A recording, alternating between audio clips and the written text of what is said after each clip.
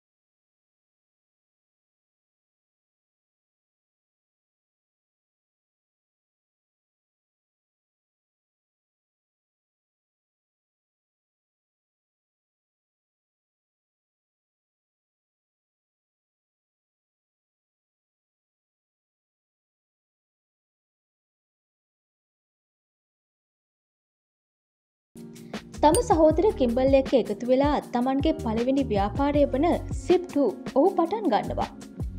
අන්තර්ශාල මාර්ගෝපදේශයක් විදියට හඳුන්වාදනෙබය නිවයෝක් ටයිම්ස් චිකාකෝ ්‍රවනි වගේ වෙබ් අඩවිවලටත් අවශ්‍ය දත්ත ලබාදීමට සමත් වෙනවා. එදස් නමස්්‍ය අනු නමේදී සිප්ටුව සමාගම කම්පෙක්් කම්පියුටමර්ස් ආයතනය මිලියන තුන්සිය හතකට මිලදී ගන්නවා. එතනින් නොනවැතුණු මාක්ස් ඉන් ලැබුණු මුදලින් එක්ස්කොට් පටන් ගන්නවා. අද වෙනකොට මේ සමාගම කවුරුත් දන්නේ පේ පෑලකිව්වමයි.